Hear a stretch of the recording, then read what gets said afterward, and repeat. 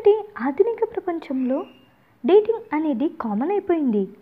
అమ్మాయి అబ్బాయి ఇష్టపడితే డేటింగ్ చేసుకోవడం అనేది జరుగుతుంది. ఆ సమయంలోనే ఒకరికొకరు అర్థం చేసుకోవడాలు లైంగిక సుఖాలు అలా అన్నీ జరిగిపోతూ ఉంటాయి. సినీ ఇండస్ట్రీలో అయితే ఇది మరీ ఎక్కువనే చెప్పాలి. పెళ్ళికి ముందే అన్నీ కానించేసేవారు చాలామంది ఉంటారనే కామెంట్లు లేకపోలేదు. సినీ ఇండస్ట్రీలో కొందరు శృంగారం మద్యం వంటి వాటి గురించి మాట్లాడితే అవి పెద్ద విషయాలే కాదని చెబుతుంటారు. పెళ్ళికి ముందు సెక్స్ చేసుకుంటే తప్పేంటి అని ప్రశ్నించవన్న వారు కూడా లేకపోలేదు.